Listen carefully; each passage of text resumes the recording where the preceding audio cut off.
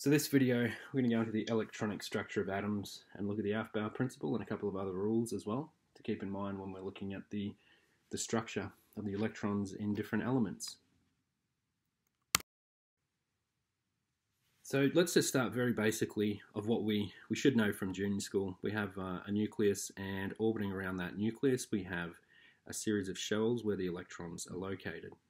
Uh, now, we should know also from junior school that when we fill in the shells, we start on the inner shell, we put two, we move to the next shell, and we can only hold two on that first shell. We move to the second, and we can fit six on the second shell, and so forth. So we know that we fill from the inner shell working towards the outer shell. We also should know that these shells, so the first shell I've drawn here, this guy on the inside corresponds to the first row of the periodic table. The second shell corresponds to the second row of the periodic table. So all of the elements in the second row have two electron shells. Okay, so what we're going to start talking about now is the fact that we can eat, well, each of these shells, 1, 2, all the way through to 7 on the periodic table, all of our 7 shells are made up of subshells and orbitals, which we'll talk about in a second. Let's just have a look at this periodic table that I've put in here. This is now broken up into the uh, different blocks, so to speak, of the periodic table. We have the S, P, D, and F block. Uh, and I'll put this one in here just so makes it a little bit easier to see what we're doing for this particular video, but it's a very similar structure to your normal periodic table. The only difference is we've got helium over here rather than over in the final column there where it should be. So we've got helium over in the S block. Everything else should look pretty, uh, pretty familiar. Okay, so let's have a look at our subshells to start with. So our first, second, all the way through to seven, our seven shells, they're all made up of these subshells. And the subshells are the S, P, D, and F subshells. You don't have to know about all of these different shapes. Um, but what you need to understand is that each of those shells, all seven of them, can be made up of these subshells here. Some of them have all of them, some of them have one of them, some of them have two of them and we'll talk about which ones do, which ones don't, and how to work that out in a second. So all of the shells are made up of these S, P, D, and F subshells. Now, each of these subshells has what we call orbitals. Now, the orbitals would be these different shapes you see here. So the S subshell only has one orbital here. Uh, the P subshell, we've got three orbitals, one, two, and three. D, we've got five, and the F subshell we have seven orbitals. So what are these orbitals? Uh, we'll have a look at this point we have written up here. Scientists use maths, so quantum mechanics, to model where electrons are most likely to be found. So if you look at these shapes here, we can say with 90, 90 or 95% certainty that if we wanted to look for an electron, that's where we'd find it. So it's a it's a, an, an area of probability that you're likely to find an electron. That's what these different shapes orbitals mean. We don't have to get into the nuts and bolts of these shapes.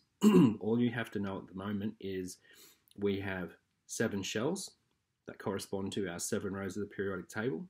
Those are, those shells are made up of subshells, and the subshells are S, P, D, and F. And each of those subshells has what we call orbitals, where we find our electrons.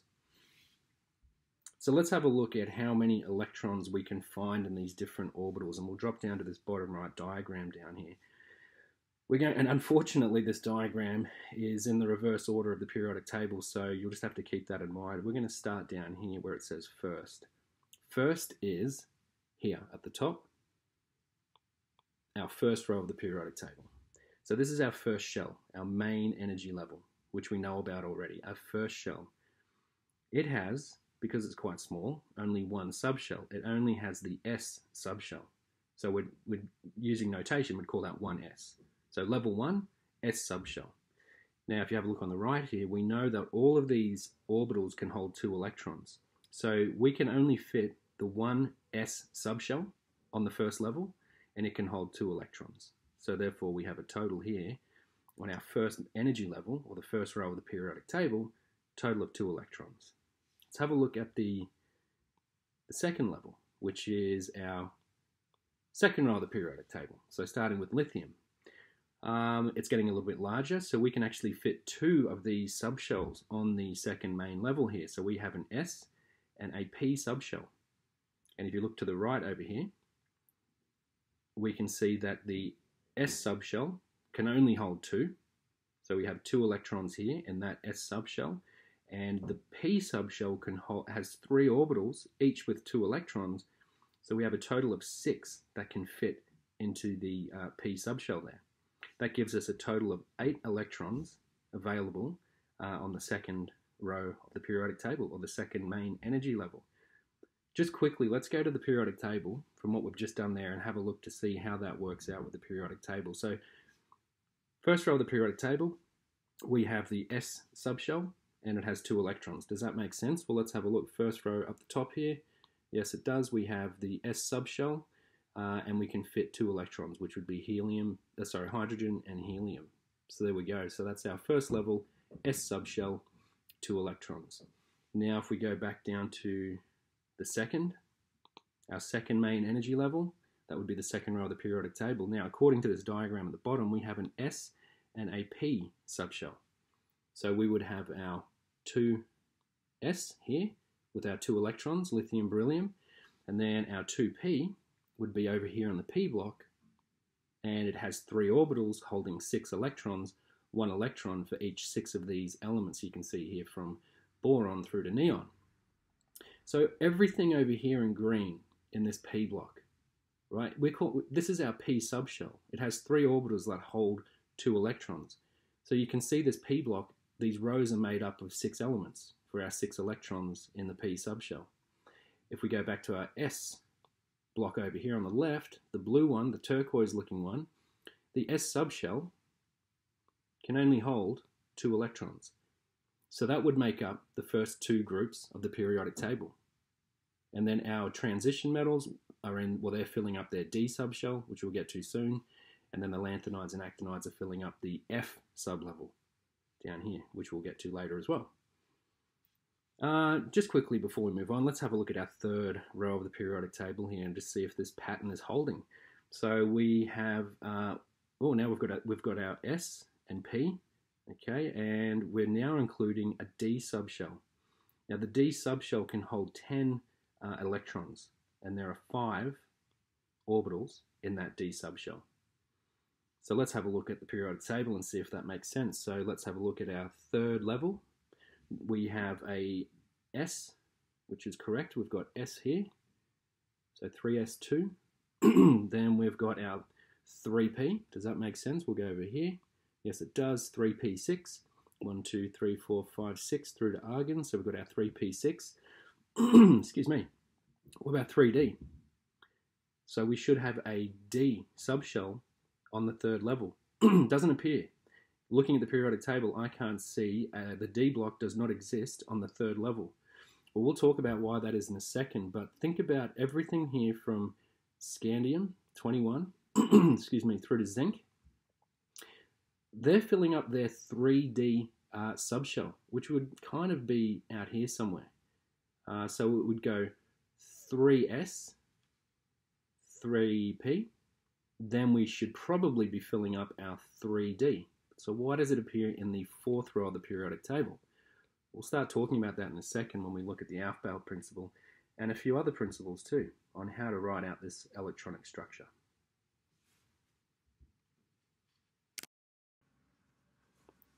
So the Aufbau principle is the first principle we're going to look at when we look at filling in our shells and subshells. Aufbau just means building up.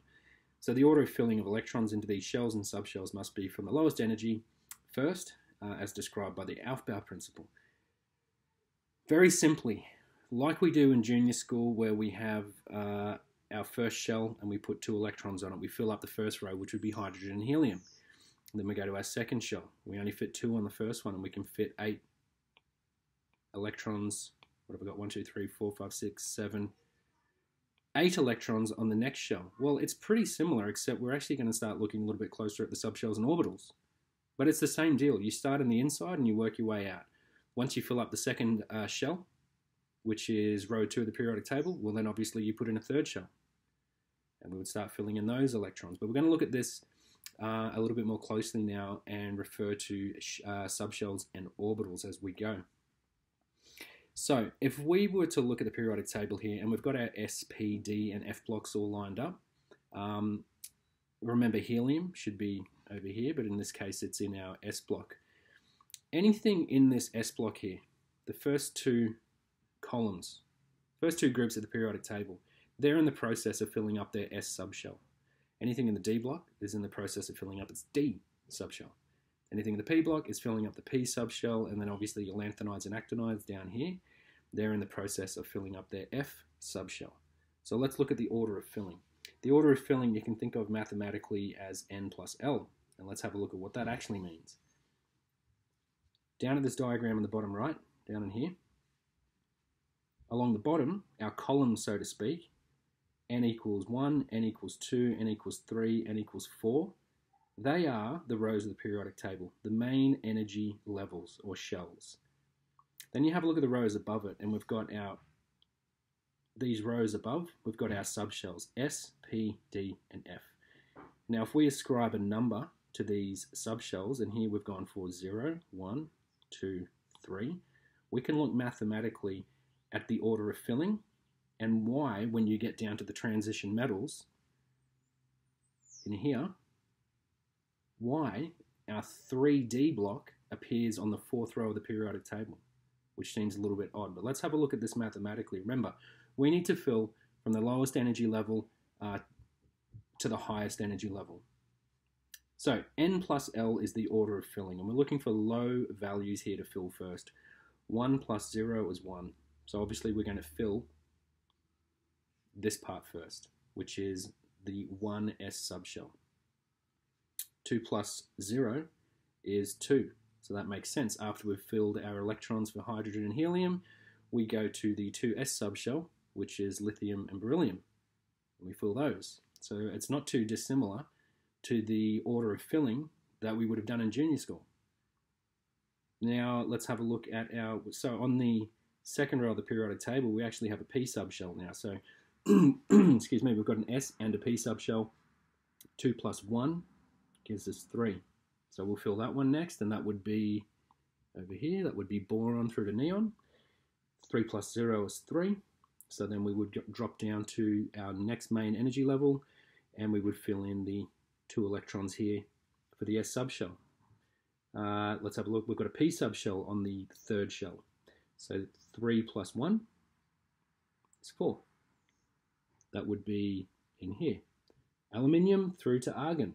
So we've filled up our six electrons there. Now have a look at what happens mathematically when we look at the, uh, the energy levels here.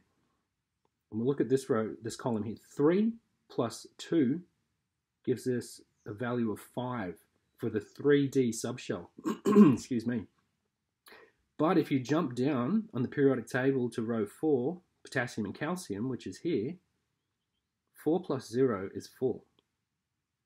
So we have a 3D subshell with an energy value of 5, but the S subshell on the fourth row has a lower energy value here of 4. So when we do the order of filling, the Aufbau principle says we go from the lowest energy first, uh, and then with increasing energy levels, we, we can put more electrons in, so to speak.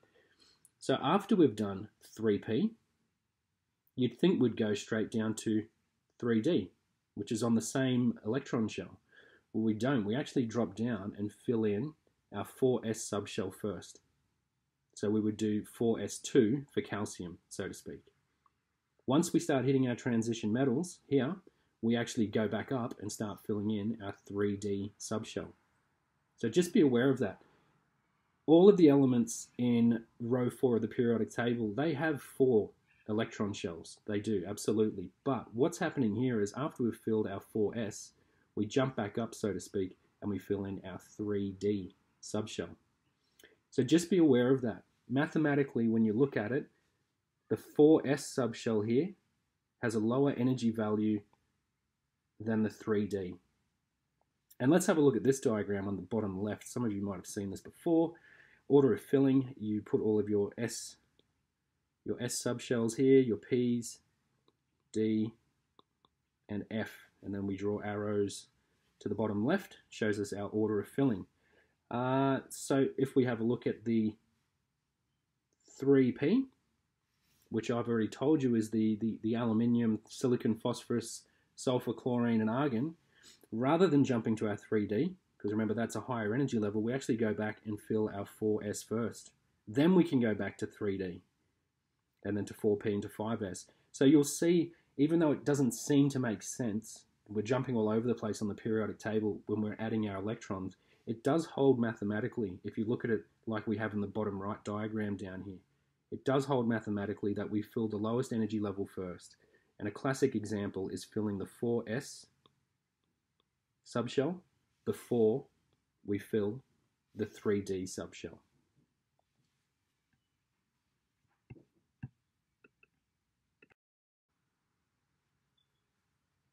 So there's a couple of other rules that we're going to look at in a second. Uh, we're going to look at Hund's rule and we're going to look at the Pauli exclusion principle. Um, and we'll look at those when we start looking at orbital diagrams. But you know what? Let's just do an example here uh, of neon, and we'll do the electron configuration using the periodic table. So the periodic table is the easiest way to work out your electron configuration for any element. It's the easiest way of doing it. Uh, so we've got our periodic table here separated down to S, D, P, excuse me, and F. Um, obviously, your periodic table probably won't look like this in the exam, but you can still use it the same way, and it becomes pretty easy to, to work out configuration. So let's have a look. Neon, uh, it's number 10. So let's have a look and count these off. We have one S2.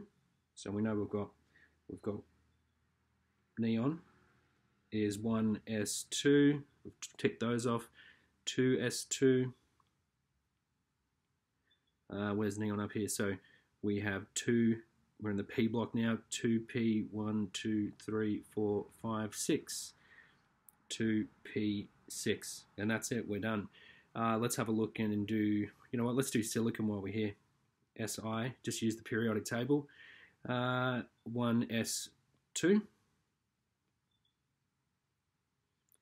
2s2, tick those off, 2s2, then move it over to 2p, 2p6, so it's the same as neon, 2p6, jump down to the third level, 3s2, 3s2, jump across to 3p. What are we doing? Silicon. 1, 2. There we go. So it is 3p2. Excuse me. That's the easiest way to work out your electron configuration using the periodic table. Um, now, the other thing we're going to look at too, so if I can do this, does this work? Uh, there we go. 1s2, 2s2, 2p6, which is neon, the one we just worked out. The next thing we're going to start looking at are your orbital diagrams. And this will go into Hund's rule as well and the Pauli exclusion principle. So an orbital diagram, um, we use boxes to represent our orbitals. Now let's do an orbital diagram here for neon. We have one S2. So this would be one S. We have two electrons, so we put two arrows pointing in different directions here. excuse me, an up and a down arrow. It's not the neatest, but there you go. Now, Hund's rule is that we fill singly, then doubly. That will come into play in a second. The other one we want to look at here is the Pauli exclusion principle. It states that no two electrons can occupy the same position or state. So if we have two electrons in one orbital, we, one must have an upspin, the other one must have a downspin, and they, therefore they can uh, occupy the same orbital. So Pauli exclusion principle states that no two electrons can occupy the same position or state. If we have two electrons in the same orbital, one has an upspin, the other has a downspin. Now we go along to, we'll draw in another box here, and we're now looking at the 2s. 2s subshell, that's full because we have 2s2, so we have an up and a down arrow here. Now we move along to the 2p6. Remember, there are three orbitals in the 2p subshell. We have six electrons, you can see here 2p6 because it's a noble gas configuration. So these are all going to be full.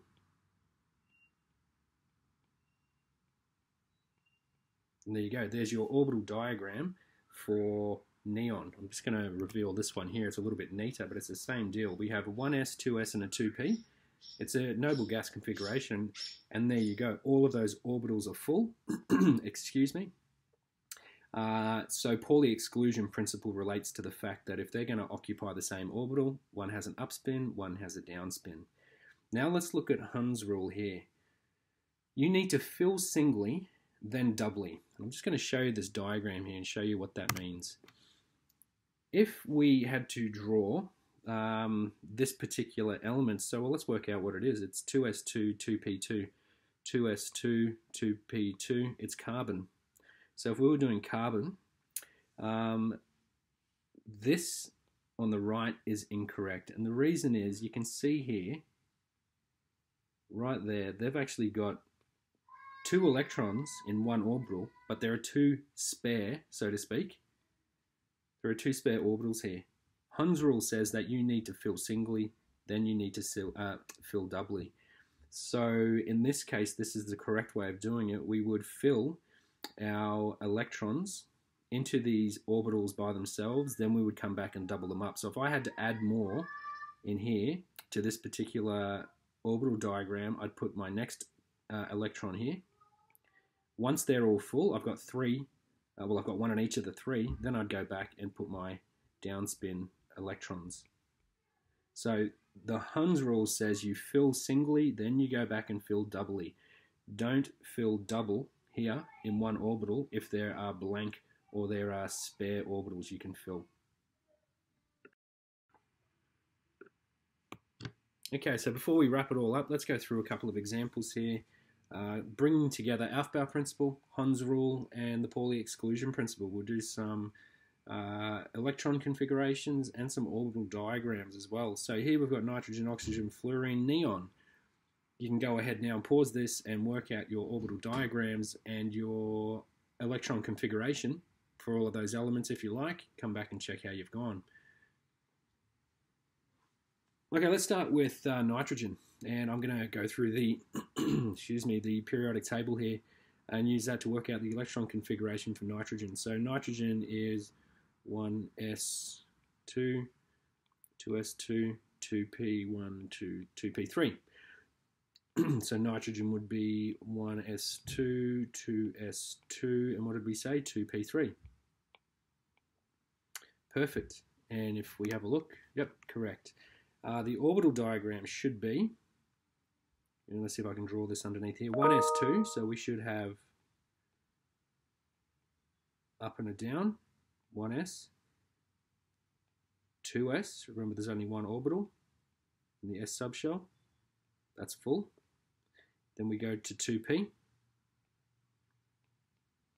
p subshell has three orbitals, can fit six electrons in there. We have 2p3, so using Hund's rule, we're going to fill them singly. We're not going to double them up just yet. And using the Pauli exclusion principle, anything that is doubled up, uh, we need to give opposite spin. So one, two, three. Well, that's it, we're full. So we have orbital symmetry there. And if we have a look at a neater version, that's what we're looking at there. So we've used all three principles to work out the electron configuration and fill out correctly our orbital diagrams. Uh, let's have a look at oxygen. Oxygen should be, well, one more. It should be 1s2, 2s2, 2p4. Correct. And you can see here we've gone back after we've filled singly. We've gone back and we're starting to double up our first orbital here in the 2p. Fluorine will be 2p5, 1s2, 2s2, 2p5, correct. And we've added one more electron to the, the center orbital here. So it looks like we're one electron away here from having a full uh, second shell, which would be 2p6. And lo and behold, that's a neon. There you go, that's the uh, electron configuration there for a noble gas. All orbitals are full in that particular shell. Okay, so let's um, let's just summarize what we've done so far. We've looked at uh, the Aufbau principle, uh, our order of filling. Order of filling of electrons into these shells and subshells must be from the lowest energy level first and then we can uh, start filling in the higher energy levels and just be aware of that. Uh, well, I, I, say anomaly, but it's not. It actually holds true. But remember, the third row of the periodic table does have a D subshell, but the 4s is actually a lower energy level. So the 4s gets filled up first, then we go back to the 3D. So order of filling is the Aufbau principle. Pauli exclusion principle states that no two electrons can occupy the same position or state this means that electrons in the same orbital must have opposite spins. Hund's rule describes how to arrange electrons when a p or d subshell is not full yet. Every orbital in a subshell is singly occupied before any orbital is doubly occupied. So again, like we've seen, incorrect. You've actually doubled up the number of electrons in this particular orbital when you have spare ones here that need to be filled first. This is the correct way of that particular notation. 1s2, 2s2, 2p6, so 2p6, we're looking at carbon. Uh, that's the correct way. And that's uh, relating back to Hund's rule. Hopefully that uh, gives you a little bit more confidence in working out your electron structure and using those three principles and rules in order to uh, complete orbital diagrams, use the periodic table to work out electron configuration, and to write your electron configuration uh, correctly as well. And hopefully, too, to explain why the D subshell, the 3D subshell, is in the fourth row of the periodic table. Hopefully, that's uh, explained it a little bit as well.